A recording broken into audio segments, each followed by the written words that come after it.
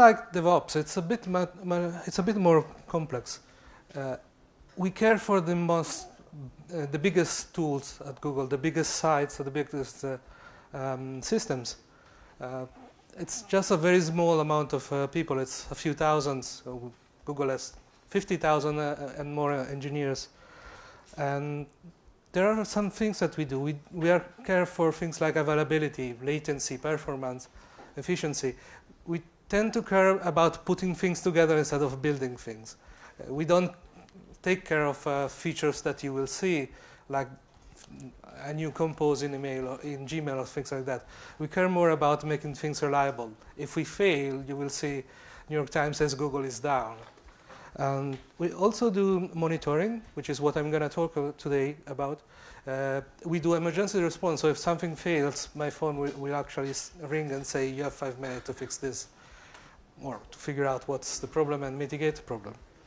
Uh, we also do capacity planning, so figure out how many more data center Google has to build, or things like that. Okay, so let's start. Um, welcome everyone, thank you for being here. Oops. My name is Roberto Lupi. I'm a site engineer in Zurich, Google Zurich, in production monitoring. I've been at Google for four years and a half, both on the monitoring and on the alerting side. So I've been on call for both the, all the monitoring systems and all the alerting systems that we have. Things like PagerDuty, but on steroids. Uh, Monarch is actually one of the biggest systems we have to do monitoring. is the current state-of-the-art monitoring system at Google. And naturally, it's not just a small team that does this. There is a, many teams that implement it, uh, and there are multiple SRE teams that take care of it, or at least my team is geographically distributed. Uh, these slides were presented uh, uh first by John Benning in US. This is just the second time we talk about this in the whole world, the first time in Europe. John Benning is the tech lead for the query engine. So this is somewhat different from the talk you have seen so far, uh, at least if you have been in the same talks like me. I'm not trying to sell you anything. This is not, you're not going to come out of this with a new API that you can use. Although maybe you can come out of this with some idea how to build a, a distributed monitoring system, or more like how to build a distributed real-time database, because at the end, this is what it is. Uh, some background. These are our current data centers. This is, you can go to this link and see them. Actually, we are building much more. In 2017, we will add 12 different locations just for cloud. Things like Sydney, Australia, Sao Paulo, Brazil, Frankfurt, Germany, Mumbai, India, Singapore, uh, Hamina, Finland, uh, North um, Virginia, US, and London, plus four more than I can talk about yet. Um, so we have to monitor all these things, and it's really, really a huge amount of data. I mean, do you remember those pictures of all the, our data centers? It's like huge buildings. You can fit several soccer fields, tens of, of soccer fields into them. We have to monitor about 100 million different things in, this thing, in these systems. They generate 10 billion of measurements. Well, 100 millions, not just 100 million. 100 millions of different things. They generate tens of billions of measurements every second they generate tens of billions of gigabytes per second that we have to ingest to process and to make available in real time. Because if something breaks, you don't want to wait in order to uh, figure out what is broken. And before this, uh, naturally, they're not just computers. I mean, they're not just software. They can be hardware. They can be sensor networks to figure out if our data centers are on fire. They can be black boxes that we use made by third party, maybe for geographical connections or things like that. Um, now, there are big user-facing systems like Gmail, and there are smaller systems like um, maybe the, the, one box within search that tells you what is the meta for the next few days. That's maybe one single developer that creates that. Um, before that, they used to run their own software to do this. It was called Borgmon, the most common one. Maybe you heard about that. We published a book about all these things. And uh, there's actually an ex-Googler that went to SoundCloud and with some other guys there created something called Prometheus. It's like stealing the fire from the gods. Although, if you actually remember the story, Zeus got mad at Prometheus for one reason. He only stole the fire, didn't steal the wisdom. And so I'm here to bring you some wisdom about that. Borgmon is really powerful. It has a very complex language. Uh, it, it's very hard to run if you start the first time. It's a super powerful macro language to configure it. And so the, the real problem there was that you actually need very specialized knowledge to run it. It was like a rite of passage to start in a SRE team, which is the most user of Borgmon, and figure out what is your monitoring so that you can actually be on call for it. So smaller teams that are just made of developers had the problem, hey, I have to run these things, how am I going to do it? And then they will just copy and paste some configuration. Then things got airy after a while. So we wanted something simpler. We wanted a service we wanted something that people can use without a lot of knowledge, but yet can be powerful enough for monitoring something like Gmail or search or YouTube. And uh, we wanted something that, so in the case of Borgmon, if you have something big enough like search, you actually create your own distributed system on top of Borgmon to make it work. And we didn't want people to have to do this every time. So we wanted to create a single system, solve this problem once. Um, Now, you remember the global distribution. How do we solve this in a reliable system? How do we make it work for everyone? We actually start small. We start locally. Within one of these data centers, we have a very powerful network. They're very reliable. They're completely redundant. So I can be quite sure that within one of these systems, one of these big groups of data, physical buildings that compose a data center, uh, I will not have too many problems. I can find a path to make things still work. Although this can work also if there are problems in the network temporarily. And within this system, there are a lot of things that are running, and we call them targets because they need to be monitored. So they are monitor targets for us. Each of these, like I said, can be anything from software. Most of this is software, but it's also hardware. It's also sensors and other things. They talk to Monarch through something called the Streamzy library. This is a set of libraries for different languages, both things that you normally use like C++, Python, Go, and Java, and some more esoteric stuff we use. And um, they basically are used to publish metrics into Monarch, so collection of data. This is the chunk, the, the data, uh, the um, native things within Monarch that you can interrogate. So how does a metric work? It looks like this. It's some kind of thing, so some kind of um, aspect of the thing that I want to monitor. In this case, it's, it's an HTTP server and I want to know what is the response latencies to various requests. And it has a very powerful type system. It's not just int, strings, or, or uh, floats. In this case, it's a distribution. It's actually uh, an histogram plus some summary statistics, so I can do things like give me the 95 percentile of the latency for the requests for this cat video uh, across all of YouTube uh, servers.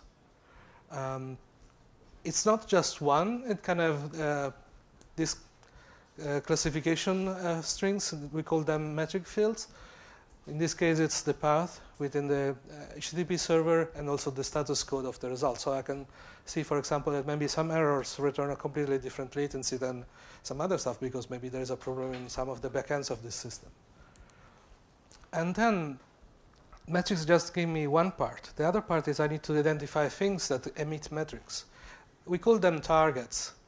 And so the most common target is a Borg task, is something that run on our cluster scheduler. It's called Borg. In the case of Borg task, they have a string, the user, they have a um, job name. Cell is more or less uh, part within our data center. You can think of it more, like, more or less like a Kubernetes cluster, just it's a very, very big Kubernetes cluster. And um, a task number is a replica within, the, like the pod within this Kubernetes cluster. There can be other target schema if you are monitoring top of the rack switches, maybe you uh, actually care about the physical uh, switch where it is. Uh, I mean, the physical rack where the rack is. Uh, if you monitor something else, you care about something else. You can actually define custom schemas within Monarch. And the nice thing is that they actually create an ordering of targets. If you concatenate the type of uh, target schema with all the values, you get a nice ordering of the space of all the targets. So you can actually use this to shard your data across different pieces. Now, we have the target and we want to get these metrics into Monarch. the thing that happens is that the Streamzy library will contact Monarch. One specific part of Monarch is called the ingestion routers. This thing knows what are the configuration within Monarch. The target will tell, hey, I have all these metrics. What do you want? And then ingestion router will tell it, okay, of this 1,000 metrics you have, I only need these three or four, maybe these hundreds. And uh, I want this one every second. I want this other one every five minutes. This one, you can send it to me every time it changes or something like that. The ingestion router knows the configuration, knows the target, and also knows what are the pieces into Monarch that will store this information. These are called leaves because they are part of a tree, like, like we see in a, in a bit. And each of these will store all the information that can arise from the targets through the ingestion routers. Now, they keep this data in memory in a very compact database. Uh, they also store continuously this data into checkpoints, uh, into recovery files. We call them checkpoints. The idea is that if that leaf gets preempted, or if a machine on which a leaf runs goes down for any reason, or for any other uh, situation, a leaf crash, we can actually restore this data into another leaf. And they are replicated, so we not, don't write on just one leaf, we write on multiple leaves uh, all the data that arrives. So it's highly improbable that all of the leaves for a specific data point, for a specific target, will go down at once. Uh, the recovery logs are also used to store them into a long-term repository. So if they cannot keep all the data in memory, we will serve them from disk later on. The leaves store this data into streams. Now, the streams are basically two parts. One is the stream identifier, which is the target plus the metadata of the metric. So we have something like HTTP um, uh, response, um, HTTP server response latency plus the Borg target that emitted it. And then we use the values that arise individually from the target and we create a time stream of this, like a time series. This is the way the leaves organize data in memory. This is the way look, this data looks like when you want to query it. It's much like a relational database where you have some stream ID columns that you can use for queries and some time series column that you can use to actually store your data. So you can do things like, okay, look at all the things of user Jones of the job server, all of the cells, give me all of the task number, just the status for code for response of type DB, allocation on the path alloc, and I want the data between now and seven, seven days ago, all the data there. And it's essentially like a, a relational database in terms of, um, of operation that you can do on them. So how queries actually work is very similar. Queries, we're still looking at a single data center here. So queries at a single data center will arrive from some other way to the zone mixer.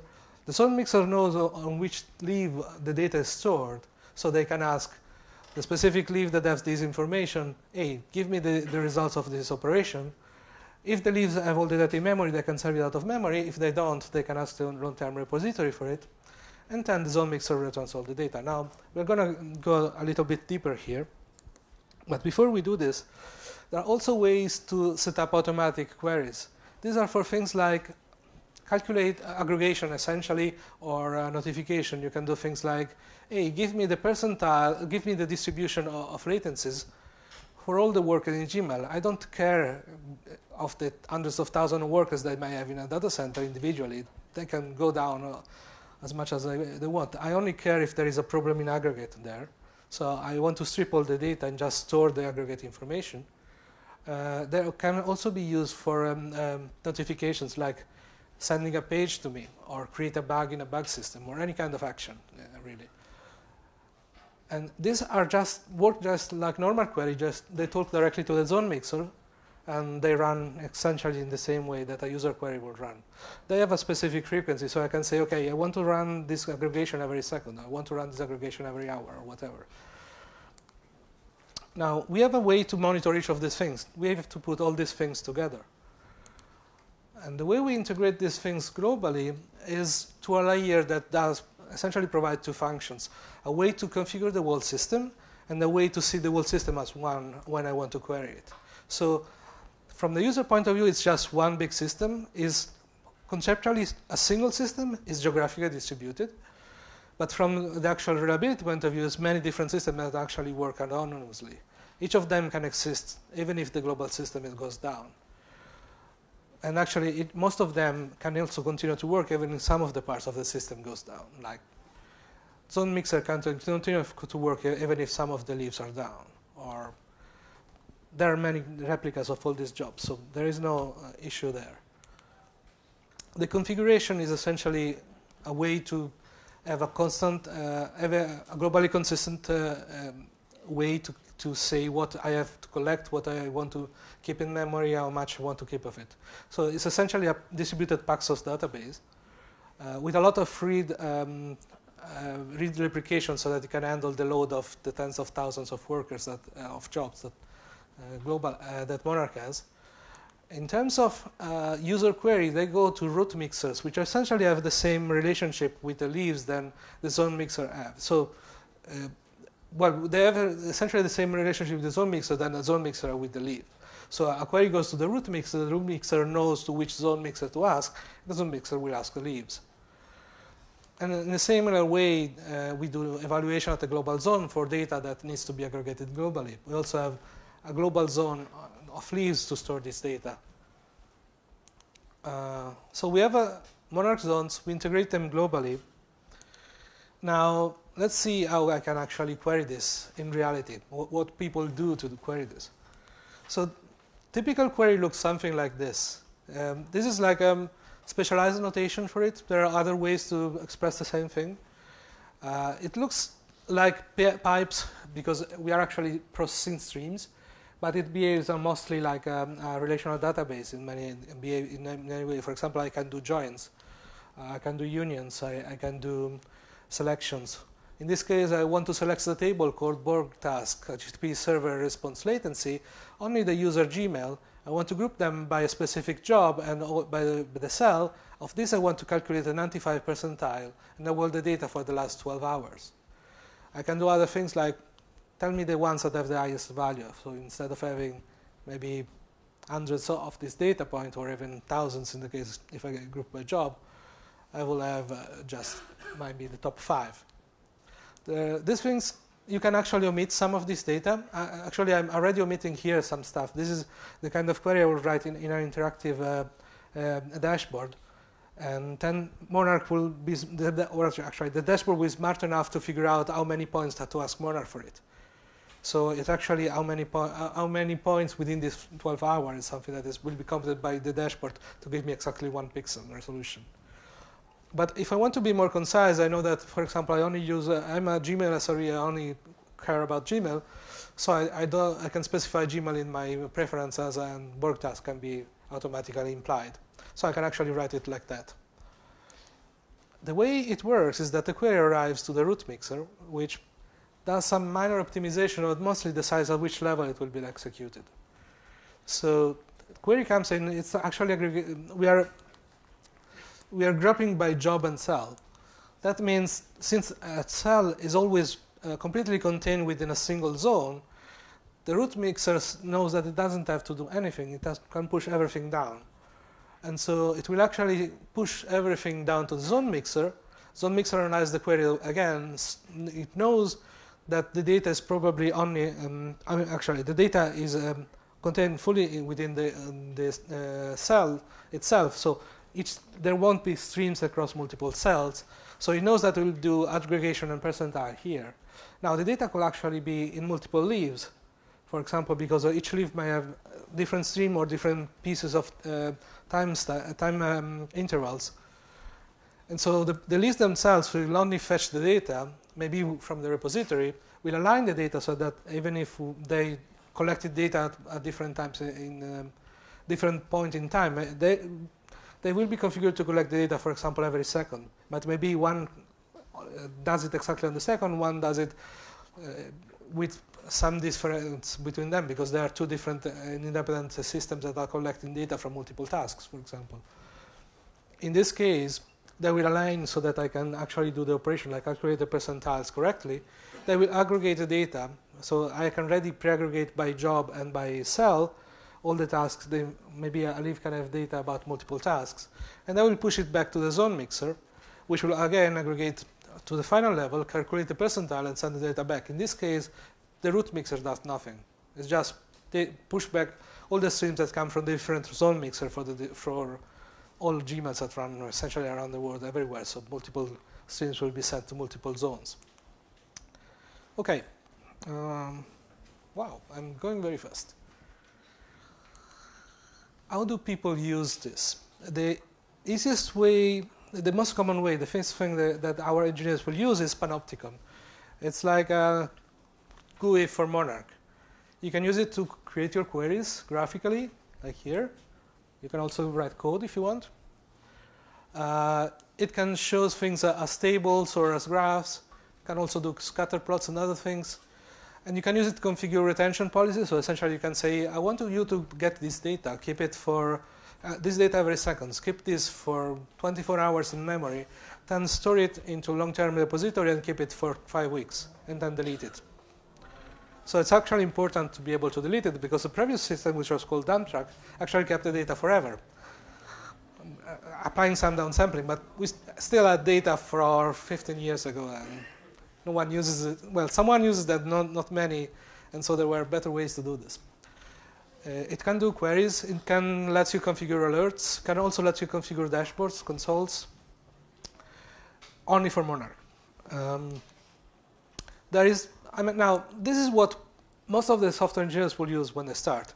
But if you actually want something that is maintainable, you want to be able to write code, check it into your um, uh, source code configuration system, run tests on it, um, do continuous integration whenever you make changes, and all this kind of stuff. We have a very good um, source configuration system actually that spans all of Google. So let's say I, I put something for my monitoring within our source configuration system, and it uses regex to select some of the streams. Now someone somewhere else in the company decides, okay, I think I, I have a, a, way to make all regex much faster within Google. However, there is a small bug in this change, and only 1% of the things only in Monarch that use this particular regex get affected. Our continuous integration system will actually notice this, and it won't be able to make the change. This is the good thing. The, there is also some bad side to this personal story. Sometimes I make some changes. I happen to be the first one that make a changes after someone, let's say, made some changes in an Haskell compiler. However, my piece that maybe is in Python that actually uses some C++ code that uses some specialized code to run on the GPU that has a that has been built by another piece of software that has like a parser written in Haskell. Since the Haskell compiler changed, all of this change needs to be recompiled. So I'm now waiting for the Haskell compiler to be recompiled. It uh, only happens to one single uh, software engineer in Google, but sometimes happen to you. Um, so you can make uh, programs, full programs for your defining your configurations. Okay, no, we don't want updates. the nice thing about Monarch is not just this, because it's really it's still hard to do monitoring right. It's still hard to know what to monitor, create alerts. The nice thing about Monarch is that unifies everything. So it enables uh, innovation at the next level, in a sense for, on top of Monarch, people build custom consoles, that dashboards that spans Monarch and other systems. They build Python-based configuration that called best practice using the data that the uh, Monarch query representation uh, through Python that we saw in the last slide. We built what, well, here it's called really automatic monitoring. What I call it, it is zero configuration monitoring. So the idea is if it's a duck, well, if it quacks like a duck and works like a duck, it's a duck. So if it basically, if it looks like a, a Bigtable client, then I can show you a, a, dashboard for a Bigtable client when you ask for dashboard for this particular job. If it uses Spanner, then I can show you a Spanner uh, dashboard. You don't have to create your um, dashboards anymore. We can do it for you automatically. Um, we can do anomaly detection for the wall of Google. That's what I spent almost nine months doing. Uh, you can do cross-company monitoring. This is not available just for Google. It's available for all of Alphabet. Slide definition. So people can define this is what is the service level agreement for our user, and we automatically create alerts based on this, so of all the systems that are involved in this. And then automatic some monitoring of standard stuff like rollouts of new version and things like that. It's also used by you when you use uh, Google Cloud. Uh, Stackdriver is built on top of Monarch. well, it was not built on top of Monarch before we acquired it, but then they switched to use Monarch instead of their own systems. Um, essentially, every graph except the billing ones that you see in the cloud, in the cloud uh, developers console are, are, built on top of Monarch. You can use it for, um, well, we, we had to make a lot of changes actually to do this because Monarch is available to any single engineer within Google. So a friend of mine, Jyrki, invented Brotli, the compression algorithm, and one of the things he did is basically demonstrated the impact that it would have. He went to a vice president and said, hey, look at this data. If we do this, we actually save X percent of the CPU for the whole fleet. Can I do this instead of my current work? Uh, Google is really data driven. So if you have the data, you can go to somewhere, someone very high in your hierarchy and tell them, hey, this makes sense. Let me do this. And they will actually let you do that. It's amazing sometimes. But for external user, we cannot do that. For external user, we have, for your data, we have to be very careful. We have to encrypt everything so that only you can access it, or someone that is uh, on call for it. But only in these cases, it's, very carefully audited and it's very carefully, um, the access uh, control is very careful. So you cannot just go to Cloud Monarch and, hey, give me everything about everyone. It will not work. You will have security on your desk very soon probably before you can leave the actual building. And then we need a different way to name things because Stackdriver actually is not just for cloud, Google Cloud. It actually works for the AWS. So you can use Stackdriver and Monarch to monitor AWS. So we had slightly different ways to name things and uh, slightly better data model that is more versatile for that. What we learn in this? Well, for starters, a service is a really good idea. It enabled a lot of uh, innovation and left, uh, uh it saved a lot of uh, development time that was spent in different ways. For the user, being able to use a system that is ubiquitous and monitor everything made them do much more advanced things that they weren't make, that didn't make sense before, like uh, this, for example, Jyrki working on a completely new compression algorithm that will and figuring out how will how what it will be the impact for the whole Google. It makes easier to start instead of running your own distributed monitoring system every time you have to run some software. However, on the other side, it also made things much harder for people like me because now we have to be, build not a system to monitor just one part, but a system to monitor all of Google. So there are some parts like resource management, user isolation, um, being really robust and uh, reliable that was really hard to at the start. In fact, most of these things are things that we had to automate away because otherwise small team cannot really handle it. So right now all of these things are done automatically. It's still complex. It's, it's not the final solution because distributed monitoring is hard in itself. Aligning data, understand, I mean, as a user, understanding that you have to align data is just, uh, for some people, uh, hard to grasp how to deal with uh, missing data because maybe you didn't uh, set up your uh, retention policy correctly. You were only storing this data once, and then good luck. Maybe the leaves that store your data goes down because there is a new version of the Borglet, which is the, the piece of code that actually run uh, on Borg the, the, single on a single machine. Um, and so your machine has been restarted, and the lever has been down. So uh, there are other things that are not just technical, like getting alert right. Some teams want to alert on symptoms. Some other teams want to alert uh, on um, root causes. They get much more noisy, but maybe in their case makes more sense. You don't want search to go down.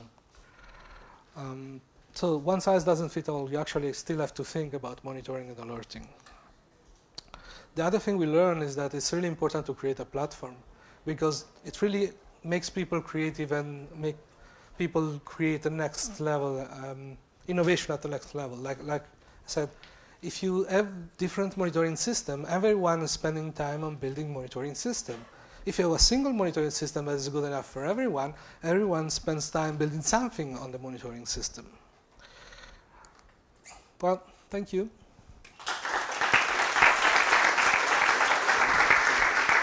Which leaves out about 10 minutes for questions, and I'm happy to answer any question. Yes? Uh, well, thanks for the talk. Um, the complexity of the platform is pretty huge. yes. What do you use to monitor the platform itself? So, so the question is, the complexity of the platform is pretty huge. What do you use to monitor the platform? Actually, I, I left so much out. Uh, I'm responsible for more than 200 binaries. You have only so, so like five of them. However, there are so many species that just implement details, so I didn't want to bore you with the, details themselves. Um, we actually use Monarch to monitor Monarch. We have two separate instances that monitor each other. And we, we have like many more instances, like Cloud is separate, there are other um, developers that are separate, but all of them basically monitor each other. Any other question? Yes. Uh, does uh, Monarch, that big verification model, use uh, Google FS? Uh, yes, it's called Colossus. Uh, at the end, it doesn't. Uh, well, it does for some parts, like the um, checkpoint recovery logs. The repository, the repository itself is another separate system, which is almost as complex as Monarch. And um, for some reason, it doesn't use um, um, checkpoint. I mean, doesn't use uh, Colossus itself. Behind the scene, it will be Colossus because of the way it works, but we it's a separate system that's built uh, uh, just for uh, storing uh, time series data. And uh, one thing, we talk about time series, but it's not actually only stuff in the time domain that it can store.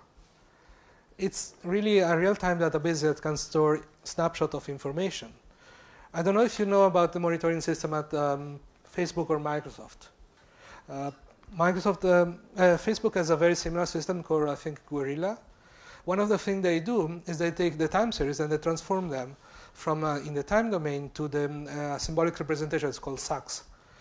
Uh, the thing is, it preserves some of the information about time series and it transforms them into strings, so you can apply string algorithm on it to, for example, hey, there is a problem, we release a new version and suddenly there is a lot of bugs. Let me see if there are um, time series regarding release of new feature that actually correlate with this one.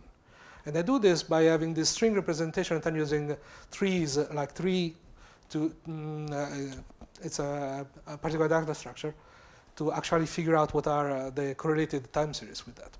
So the same thing you can do with Monarch. Uh, Microsoft has something called Cypress. Uh, they published a paper like uh, two or three years ago, and they do a really clever thing. Um, they basically take a time series and they split it up into three different representations, maybe now more. one is um, essentially only the low pass uh, frequencies, like the trends, things like that, so that you can see is this going up, it's going down. Um, they then have another part, which is essentially the maxima and the minima, so they can say, is this CPU spiking or not? And they do another part, which is essentially a random uh, projection of this data. You can use a random projection, for example, to figure out if two things are correlated with each other. So you can say, okay, are these two jobs actually antagonistic of each other? If I put them on the same CPU, will they slow each other down because they use the cache in the wrong way? And you can do similar things also with the Monarch itself. So it's not just for time series like data in the time domain. You can do all kind of things.